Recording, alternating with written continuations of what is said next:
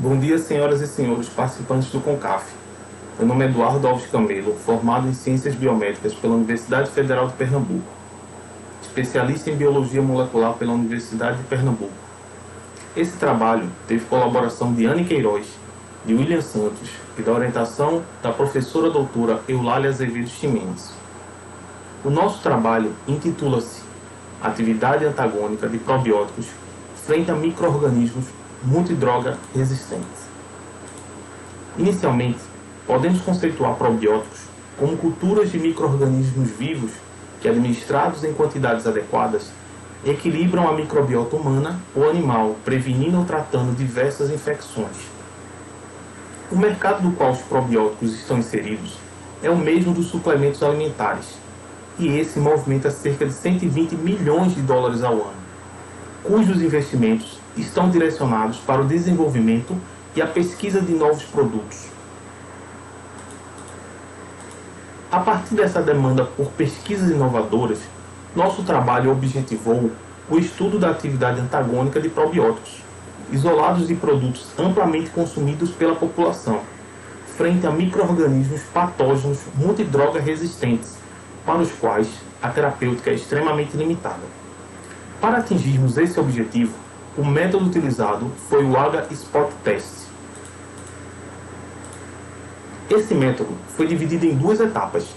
A primeira delas, a partir de culturas de Lactobacillus casei shirota, Lactobacillus casei defensis, Bifidum bacterium animalis e Bifidum bacterium lactis, isolados dos produtos Yakult, Activia, Actimel, Probiolog.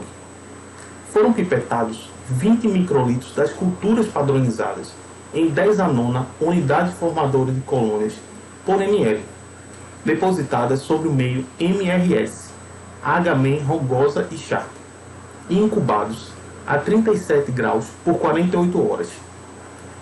A segunda etapa consistiu em retirar uma alíquota de 1 ml da cultura padronizada em 10 a sexta unidade formadora de colônia por ml dos seguintes patógenos: cocos gram-positivos, duas cepas de Staphylococcus aureus e cinco bacilos gram-negativos fermentadores, Escherichia coli, enterohemorrágica, Klebsiella pneumoniae, Salmonella entérica, Salmonella typhi e Shigella sonne.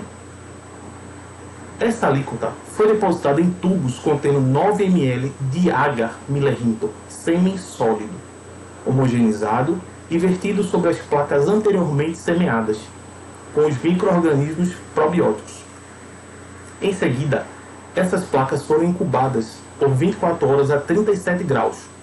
A leitura foi realizada pela medida do halo em torno da cultura dos micro-organismos probióticos.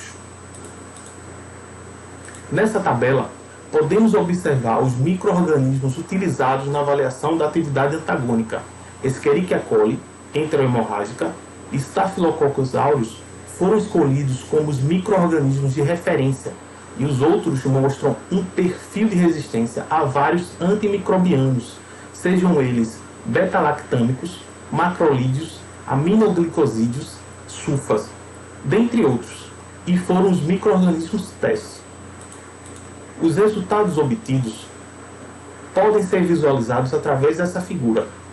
As placas enumeradas de 1 a 7, com as letras de A a D, representam os probióticos e as placas com a letra E representam a atividade antagônica dos probióticos em cocultura com os micro-organismos patógenos.